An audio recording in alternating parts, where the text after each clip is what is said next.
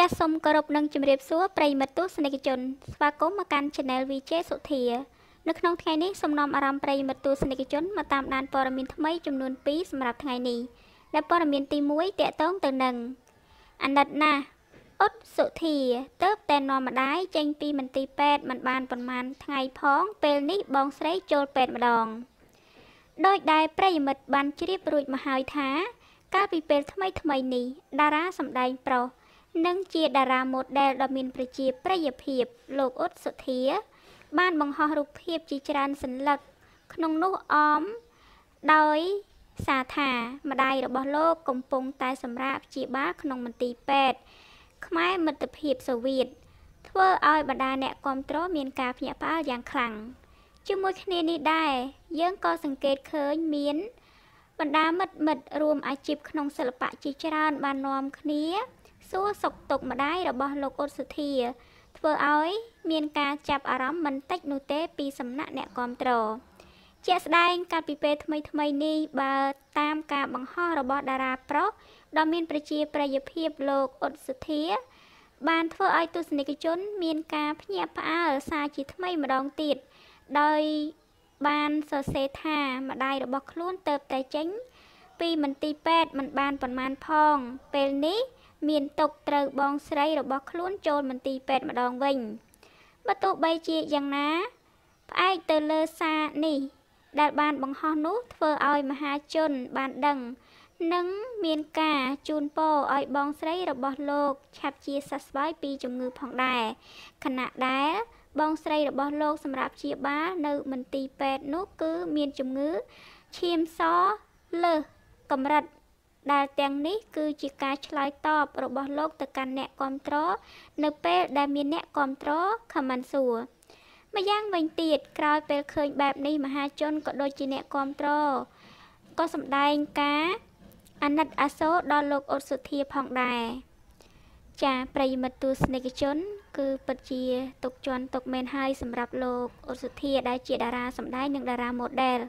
ចាម្ដាយទៅតែចេញពីមន្ទីរពេទ្យមិនបានប្រហែលថ្ងៃផង ចាស្រាប់តែបងស្រីត្រូវចាទៅមន្ទីរពេទ្យចាគឺសម្រាប់ជាបាលដោយសារតែ ជំងឺឈាមសលើសខ្លាំងសម្រាប់ព័ត៌មានទី1នេះគឺសូមបញ្ចប់ឥឡូវមកតាមដានព័ត៌មានទី2ជីវិតពោពេញដោយភាពកក់ក្ដៅរបស់តារាចម្រៀងសុនស្រីពេជ្រនិងគ្រួសារក្រោយបានចំណងដៃកូនដ៏គួរឲ្យស្រឡាញ់ប្រិយមិត្តទស្សនិកជនជាច្រើនប្រកាសជាបានជ្រាបរួចមកហើយ អំពីតារាពហុជំនាញអ្នកនាងសុនស្រីពេជ្រនៅទឹកដមសំឡេងដ៏ពីរោះរបស់អ្នកនាង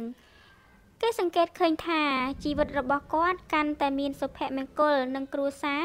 និងស្វាមីជាទីស្រឡាញ់កាន់តែខ្លាំងឡើងគួរឲ្យសរសើរក្រោយស្នាមញញឹមនិងការមើលថែពីសំណាក់ស្វាមី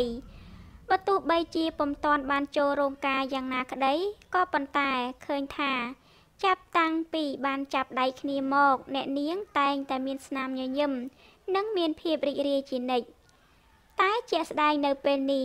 នាងក៏កាន់តែផ្អែមល្ហែមជាមួយស្វាមីកាន់តែខ្លាំងឡើង ក្រោយទទួលបានចំណងដៃកាដូពិសេសនោះគឺកូនដ៏គួរឲ្យស្រឡាញ់ម្នាក់តាមរយៈសកម្មភាពនៅក្នុងគ្រួសារមួយនេះឃើញថាស្វាមីរបស់នាងពិតជាយកចិត្តទុកដាក់និងយល់ចិត្តភរិយាខ្លាំងពេលដែល មានពេលវេលាទំនេរក៏មើលថែកូនជំនួសនាងដើរតួនាទីជាស្វាមីដ៏ល្អសម្រាប់គ្រួសារមិនត្រឹមតែប៉ុណ្ណោះពីមួយថ្ងៃទៅមួយថ្ងៃនាងក៏ទទួលបាននៅសុភមង្គលពេញលេញដែលស្វាមីក៏ស្រឡាញ់ថែមទាំងជួយជំនួសដៃជើងប្រពន្ធមើលថែកូនពេលទំនេរថែមទៀតផងចាប្រិយមិត្តទស្សនិកជនបើទោះបីជាគាត់ពុំតាន់រៀបការចាក៏ចាយើងឃើញថា ជីវិតគ្រួសាររបស់គាត់គឺមានសុភមង្គលផងដែរក្រោយគាត់ទទួលបានកូនស្រី ចាមួយរូបដ៏ស្រស់ស្អាតផងដែរនោះចាយើងឃើញថាស្វាមីរបស់អ្នកនាងសុនស្រីពេជ្រពិតជាស្វាមីដ៏ល្អខ្លាំងមែនទែនរាល់នៅកម្រងរូបថតស្វាមីដែលបានថតជាមួយកូនស្រីយើងឃើញថាពិតជាផ្ដល់ភាពកក់ក្ដៅឲ្យកូននិងចេះមើលថែកូនបានយ៉ាងល្អផងដែរជំនួសអ្នកនាងសុនស្រីពេជ្រនោះ សម្រាប់ព័ត៌មានទាំងពីរនេះក៏សូមបញ្ចប់អរគុណប្រិយមិត្តទស្សនិកជនដែលបានតាមដានកុំភ្លេចជួយចុច Subscribe និងចុចរូបកណ្ដឹងផងណាដើម្បីទទួលបានព័ត៌មានថ្មីៗបន្ថែមសូមអរគុណនិងសូមគោរពលា